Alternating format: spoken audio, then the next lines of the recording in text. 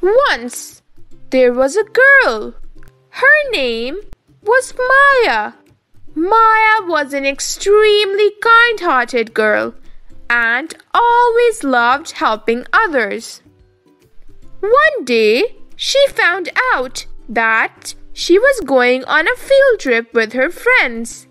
She was super excited and was extremely looking forward to this trip because she was going to the zoo and was very excited to see all the giraffes and the brave lions. But once she reached the lions' cages, she noticed that there was this one lion who was sitting under the shade while the others were roaring. This lion was not roaring at all, it was just sitting quietly.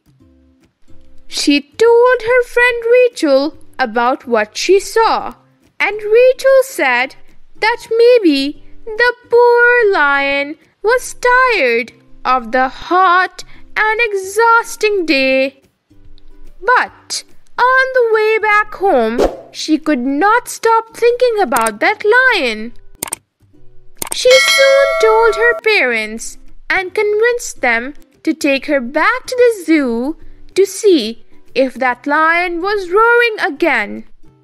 However, the poor lion was sitting in the same spot once again. Maya was told that the lion was sick and needed medicine, but the zoo was having a hard time affording it. So, that summer, Maya was very excited to raise the money for the lion.